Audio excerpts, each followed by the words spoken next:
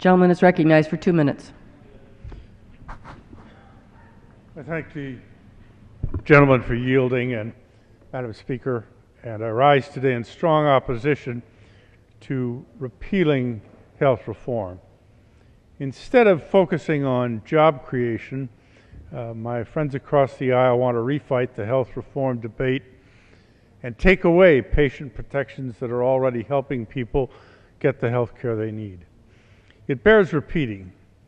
Health reform is already helping millions of people in America. These aren't just numbers, they're real people.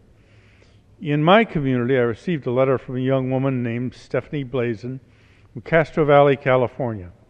And Stephanie recently graduated from college, married, moved to California where her husband was pursuing a graduate degree. She was lucky and quickly got a job. Then, within her first few weeks on the job, she found she was pregnant. This should have been an exciting time for a young couple to start a family. Instead, she learned that her pregnancy was a pre existing condition and she'd obtained no coverage for any medical needs surrounding it.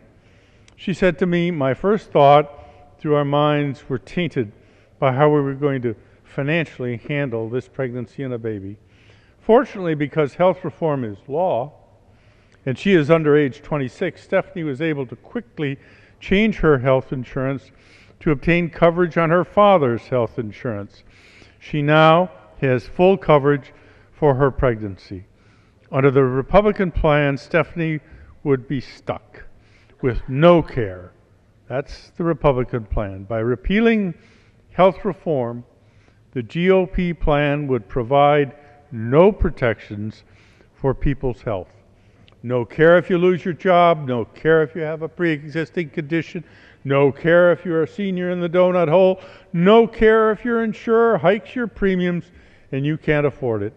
The Affordable Care Act has finally enacted fair rules for insurance companies. The Republicans want to take those protections away and put the insurance industry back in charge. I urge my colleagues to vote no on the Republican no care bill. Gentleman's Madam time's Speaker. expired.